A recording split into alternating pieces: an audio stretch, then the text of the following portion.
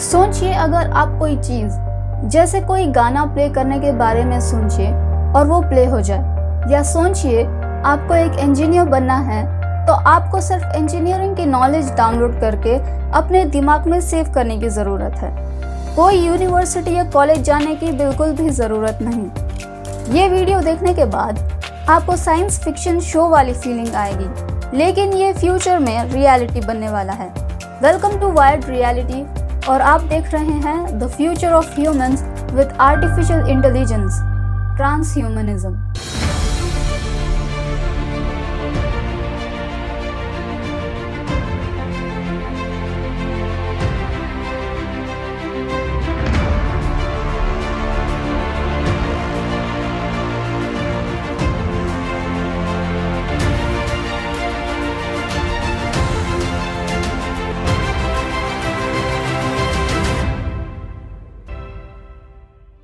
Tesla founder Elon Musk और उनकी neural tech startup team का मानना है कि उनके बनाए हुए इलेक्ट्रॉनिक ब्रेन कंप्यूटर इंटरफेस से ये सब पॉसिबल है, जिसका नाम न्यूरोलिंक है। न्यूरोलिंक को आपके स्कल में मतलब आपके सर में बिल्कुल छोटे वायर से कनेक्ट कर दिया जाएगा।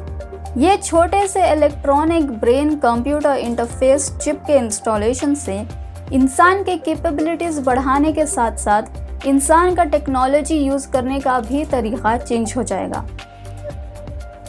इंसान के न्यूरल इश्यूज़ मतलब दिमागी बीमारी जैसे एल्जमर्स एपिलेप्सी का ट्रीटमेंट करने में भी मदद करेगा।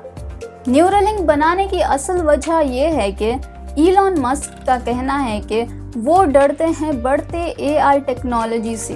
फ्यूचर में कहीं इंसान आर्टिफिशियल इंटेलिजेंस के पीछे न छूट जाए।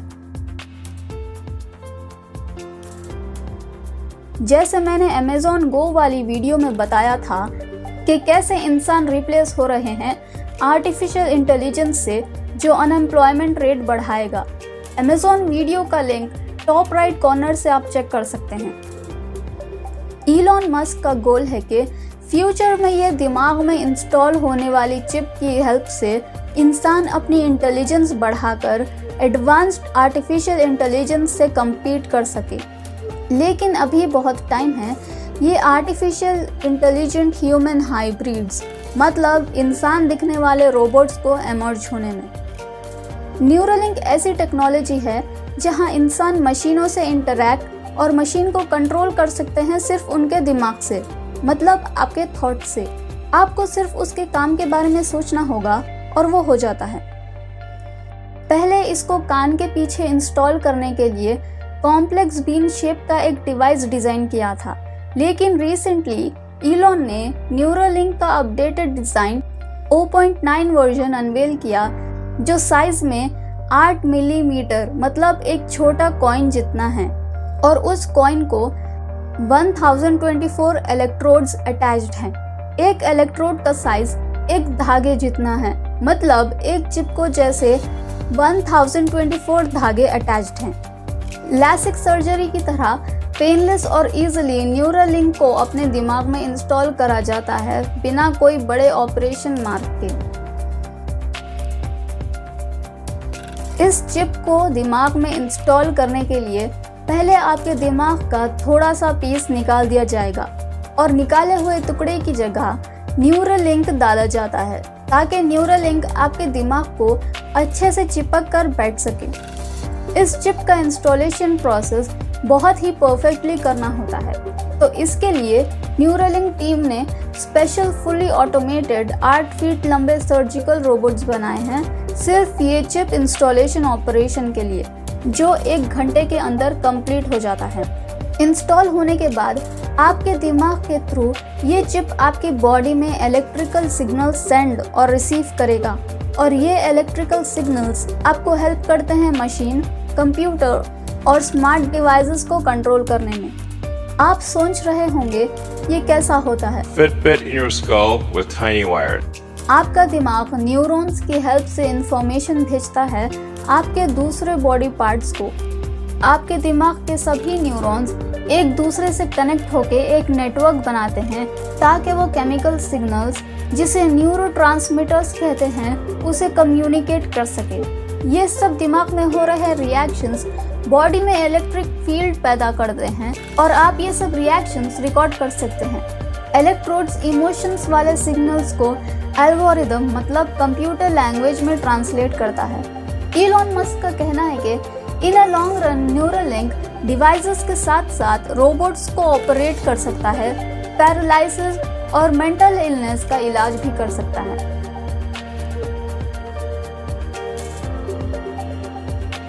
म्यूज़िक को सिर्फ़ दिमाग से प्ले करा जा सकता है और हियरिंग फ्रीक्वेंसी की रेंज मतलब इंसान नॉर्मल सुनने वाली फ्रीक्वेंसी बढ़ाकर ज़्यादा दूर तक की बातें या आवाज़ें सुन सकते हैं। ऑडिटोरी कॉर्टेक्स मतलब दिमाग के बीच का हिस्सा, एक हिडन माइक्रोफोन की तरह काम करेगा।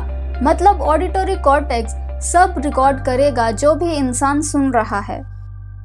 साइंस फिक्शन मूवी मैट्रिक्स में जैसे नियो खुद के दिमाग में अलग अलग स्किल्स डाउनलोड करता है, वैसे ही अब हम अपने दिमाग में कोई भी स्किल्स या नॉलेज डाउनलोड कर सकते हैं।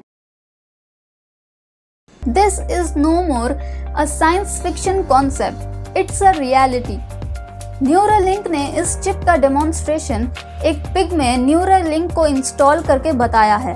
ये डेमो से मालूम होता है कि वो पिग कैसा फ़ंक्शन कर रहा है और इसके रिजल्ट्स पॉजिटिव आए हैं। एक लिमिट तक देखा जाए तो ये चिप बहुत अच्छी है।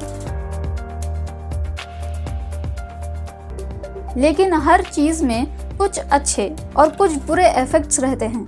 न्यूरोलिंक से तो इंसान की मेन सिस्टम से छेड़छाड़ हो रही है। आप ही सोचिए, इसका बुरा इफ़ेक्ट इंसानों में कैसे नहीं दिखेगा।